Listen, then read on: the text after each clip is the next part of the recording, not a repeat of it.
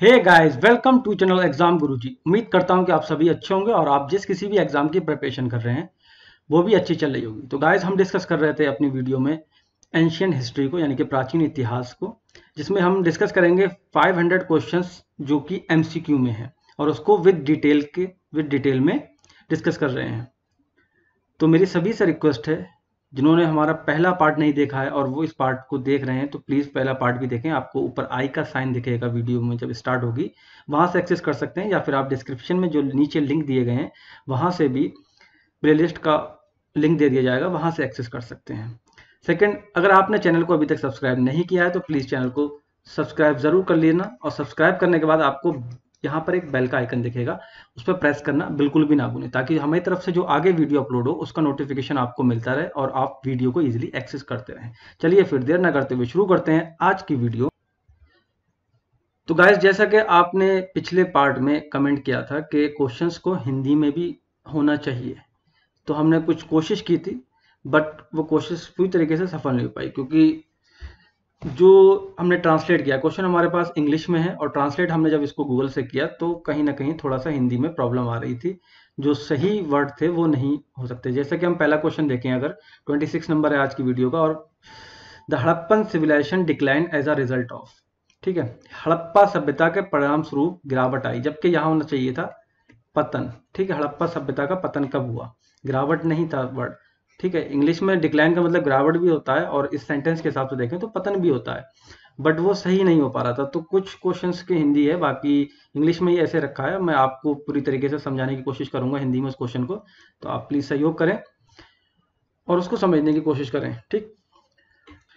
तो इसके ऑप्शन जो है, वो है फ़र्स्ट है आर्यन इन्वेजन मतलब आर्यन का आक्रमण, ठीक? डिक्लाइन इन फॉरेन ट्रेड विदेशी व्यापार में गिरावट इकोलॉजिकल फैक्टर्स पारिस्थितिक कारक नॉट डेफिनेटली नोन फैक्टर्स यानी कि निश्चित रूप से ज्ञात कारक नहीं है।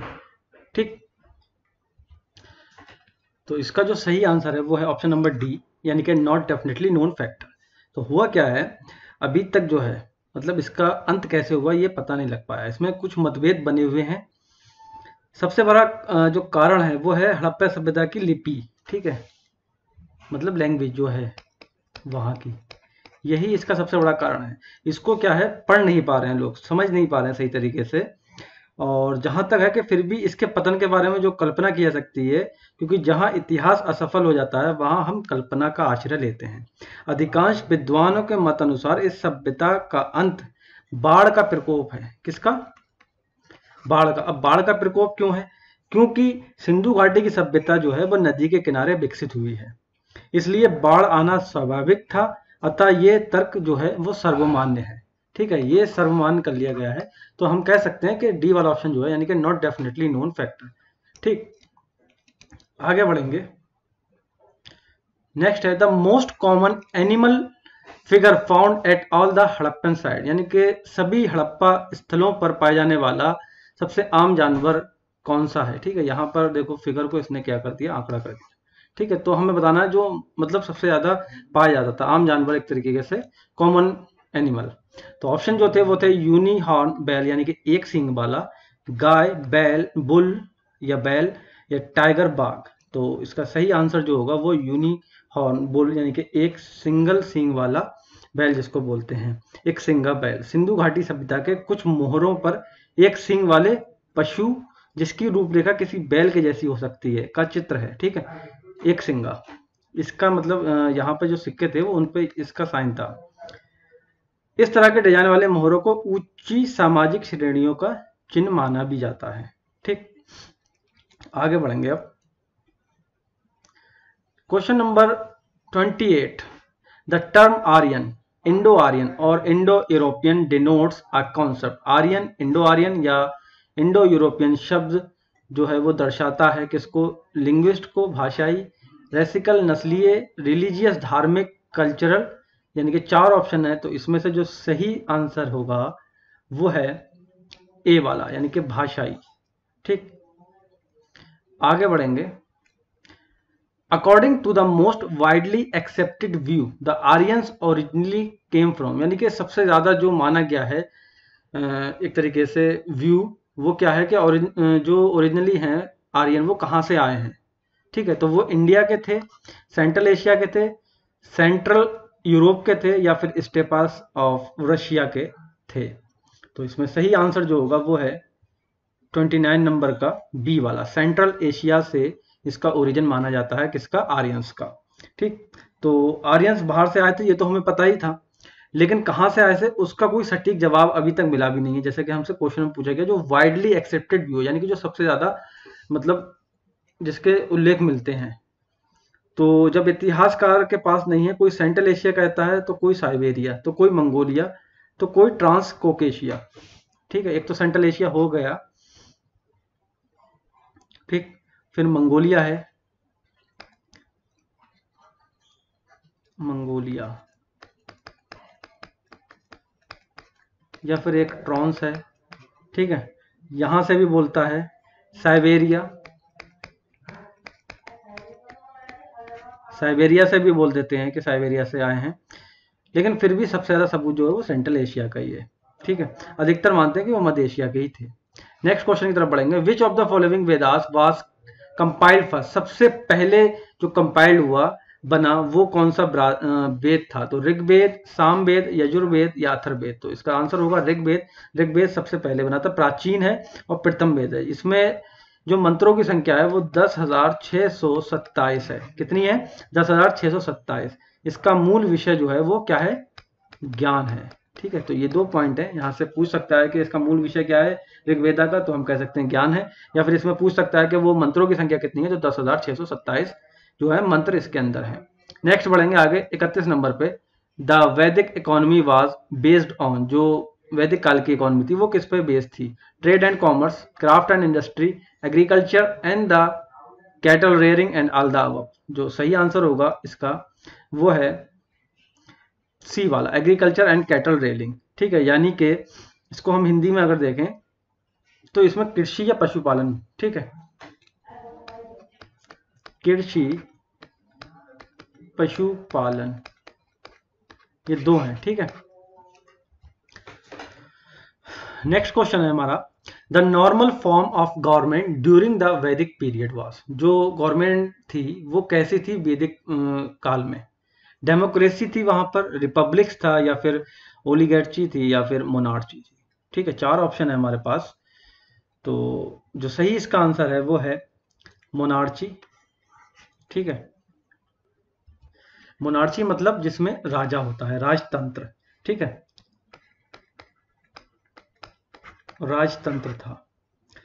तो क्या था यहाँ? प्राचीन भारत में राजतंत्र होने के बावजूद प्रजा पर अत्याचार नहीं था। अनेक दार्शनिक का मानना है कि वैदिक साहित्य से, वैदिक साहित्य में राजतंत्र में कल्याणकारी राजा का विचार निहित था। और 600 बीसी, ठीक है? 600 बीसी से 400 बीसी तक। राजतंत्र के मामले में ब्राह्मणों का कहना था कि राजा कोई सामान्य पुरुष ना होकर देवता के समान है। ठीक है, राजा क्या थे? सामान्य पुरुष नहीं है, वो देवता के समान है। वे उनके सलाहकार थे और उनके बिना राजा ने तो शासन कर सकता था। ठीक है, राजा उनके बिना शासन नहीं कर सकता था जो ब्राह्मण थे। ना ही यज्ञ और अनुष्ठान। इसके अलावा राजा समाज और धर्म का रक्षक होता था। किसका? समाज और धर्म। इन दो चीज़ों का क्या था? रक्षक था। तथा गणराज्यों में यह समझा जाता था कि मुखिया को जनसाधारण से चुना जा सकता है। ठीक? अगला क्वेश्चन है the two popular assemblies of the Vedic period were यानी कि दो असेंबली जो थी वैदिक काल की पॉपुलर वो कौन कौन सी थी? तो हमारे पास है सभा एंड महासभा महासभा एंड गना सभा सभा एंड समिति योर एंड कुला, ठीक? तो जो ऑप्शन नंबर सी है, सभा एंड समिति, ये इसका सही आंसर होगा। जो असेंबली थी, वो यही थी पॉपुलर। और इसको अगर देखें डीप में थोड़ा सा तो वैदिक काल में सभा एक ग्राम संस्था थी। सभा जो थी, ये जो है, ठीक है? सभा, ये क्या थी? ग्राम ग्राम संस्था थी, ठीक है? इसके अलावा जो समिति थी, वो एक केंद्रीय संस्था थी। ये क्या थी? सेंट्रल यानी कि जैसे कि अभी हम लोकसभा कहते हैं, ठीक है? तो लोकसभा क्या होता है? केंद्र से होता है और विधानसभा क्या होती है? राज्यसभा होती है, या फिर पंचायत को ग्राम संस्था कहते हैं और लोकसभा को समिति, इस तरीके से हम समझ सकते हैं इस चीज़ को, ठीक है? तो ये थी केंद्रीय केंद्रीय संस्था। वैदिक साहित्य में सभा एक ग्राम संस्था के रूप में और समिति एक राजनीतिक संस्था के रूप में उल्लेखित है। राजा समिति की बैठकों में भाग लेता था, ठीक है? कौन लेता था? राजा। अगला क्वेश्चन है thirty four number the Indo Greek kingdom set up in north Afghanistan in the beginning of the second century BC was तो इसमें जो ऑप्शन दिए गए हैं, चार ऑप्शन है सियाथिया, जेड्रासिया, बैक्टारिया और अरिया। ठीक है? तो सही आंसर जो होगा वो है सियाथिया। इस समय इसकी थी, जनजाति के लोग उत्तरी अफ़गानिस्तान पर कब्जा था। ठीक है? इनका कब्जा था किस पे? उत्तरी अफ़गानिस्तान पर। इन्हें भारत के, भारत में शक नाम से जाना जाता है। और दूसरा नाम इनका कौन सा है? शक। जो इंडिया में हम इन्हें जानते हैं, शक नाम से जानते हैं। अफ़गानिस्तान में ये स्किति के नाम से था। ठीक है? स्किथिया ठीक। नॉट सियाचितिया स्किथिया अगला है the best specimens of Mauryans art are represented by their stupas pillars, chaityas और केप्स ठीक है, मौर्य काल के जो बेहतरीन नमूने हैं, वो किससे रिप्रेजेंट होते हैं? वो होते हैं स्तंभ से। ठीक है, यानी कि पिलर। स्तंभ या पिलर, एक ही बात है, ठीक? इससे प्रदर्शित होते हैं। आगे बढ़ेंगे 36 नंबर पे। Which of the following does not represent an important source material for the Mauryan period इसमें से ऐसा कौन सा आ, मतलब सोर्स है जो इंपॉर्टेंट नहीं है? डज नॉट रिप्रेजेंटेड मतलब इंपॉर्टेंट सोर्स जो इंपॉर्टेंट सोर्स को रिप्रेजेंट नहीं करता है मौर्यन पीरियड के मौर्य पीरियड के मौर्य काल के ठीक है? लिटरेरी वर्क्स फॉरेन अकाउंट और न्यूमिनिस्मेटिक एविडेंस और एपिग्राफिक सोर्सेस चार ऑप्शन है हमारे पास। इसमें सही जो होगा वो है न्यू मिसमेटिक एविडेंस ठीक, मौर्य काल, कालीन साक्ष्यों में मुख्यतः साहित्यिक साक्ष्य मिलते हैं। क्या मिलते हैं? साहित्यिक, यानी कि ये वाले साक्ष्य मिलते हैं। उदाहरण था मेगास्थनीज लिखित इंडिका, जो मेगास्थनीज ने लिखी थी। मेगास्थनीज, एक बुक लिखी थी, जिसका नाम था इंडिका। ठीक है? जबकि सिक्कों का साक्ष्य कम प्रभावी माना जाता है, क्योंकि सिक्कों का प्रचलन किसी राजा विशेष के अनुसार नहीं, बल्कि श्रेणियों के अंतर्गत हुआ था। नेक्स्ट क्वेश्चन की तरफ़ बढ़ेंगे। According to Strabo the Tamil kingdom to first send embassies to meet Augustine in Athens to twenty BC was तो पल्लव, चोला, पांडे, चेरा। तो इसका सही आंसर होगा पांड्य, यानी कि सैतीस का सी जो है, वो इसका सही होगा। ये कोई व्यक्ति रहे होंगे उस टाइम के, ठीक है? ट्वेंटी वीसी के टाइम के। नेक्स्ट क्वेश्चन है thirty eight number who among the following was the founder of the Nanda dynasty ठीक है? नंदा वंश का फाउंडर कौन है? ठीक? Mahapadmananda, Ashokananda Dhanananda none of the अब यानी कि चार ऑप्शन है, इसमें से जो सही होगा वो है महापद्मानंदा, यानी कि ऑप्शन नंबर एक, वो सही है। नंद वंश जो है, वो प्राचीन भारत का सर्वाधिक शक्तिशाली और महान क्षत्रिय राजवंश था, जिसने पांचवी चौथी शताब्दी ईसा पूर्व, यानी कि फिफ्थ से फोर्थ तक, ईसा पूर्व से तो इसलिए उल्टा चलता है यहाँ पर, ठीक है? उत्तरी भारत के विशाल भाग पर शासन किया। नंदवंश की स्थापना जो है, वो प्रथम चक्रवर्तीय सम्राट चक्रवर्तीय सम्राट भी बोलते हैं, महापद्मानंदा ने की थी। The word Veda has been derive from the root word vid and which means जो वेदा है, उसको ड्राइव कहाँ से किया गया है? रूट वर्ड विद से। तो जिसका मतलब होता है डिविनिटी स्क्रेडनेस डॉक्ट्रीन नॉलेज चार ऑप्शन है इसमें से जो सही होगा वो है ऑप्शन नंबर डी यानी कि नॉलेज दरअसल वेद शब्द की उत्पत्ति जो है वो संस्कृत भाषा के विद धातु से हुई है। ये क्या है? एक तरीके की धातु है, ठीक? इस प्रकार वेद का शाब्दिक अर्थ जो है वो ज्ञान के ग्रंथ है। इसी विद धातु के से विद्वान, ठीक है? इसी से विद्वान बना, ठीक? विद्या बनी और विदित विदित बना। ठीक? यानी कि इसका मतलब हुआ जानना हुआ।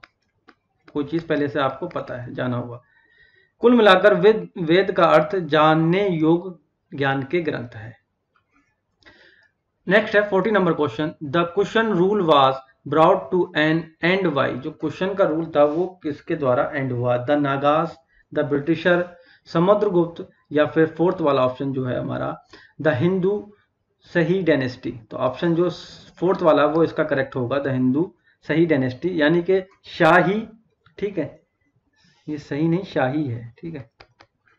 Shahi dynasty the Hindu Shahi dynasty Shahi या शाही राजवंशों ने भारत के मध्य राज्यों में शासन किया, जिसके अंतर्गत काबुलिस्तान तथा गंधार, वर्तमान समय में जो अभी पाकिस्तान के अंदर है, ठीक है? काबुलिस्तान। काबुलिस्तान या फिर कह सकते हैं गंधार। कहाँ पे अभी? पाकिस्तान। ये राजवंश तीसरी शताब्दी में कुशाण राजवंश के पतन के बाद शासन में आया और नौवीं शताब्दी के आरंभ तक शासन किया है।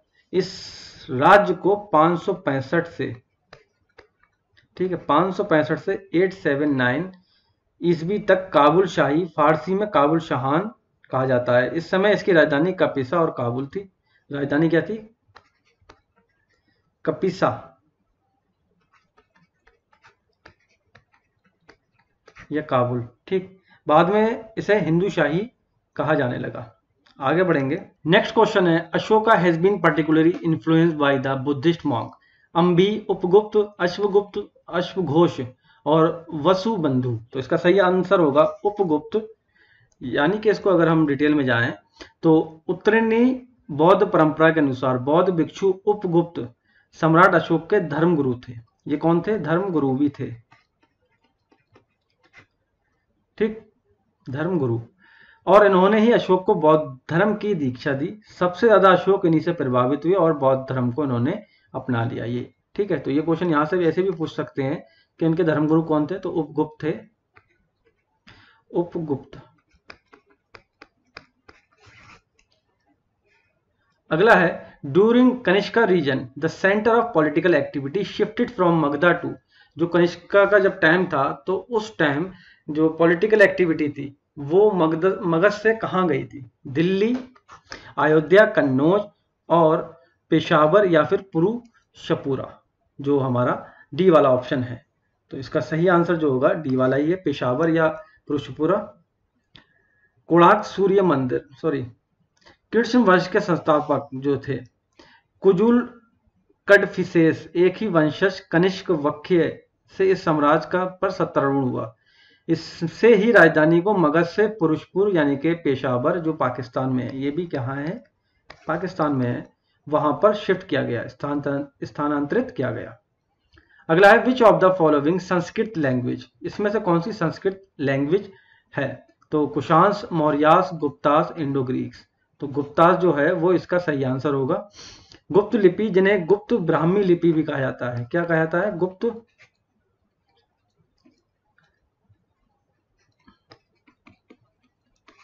ब्राह्मी।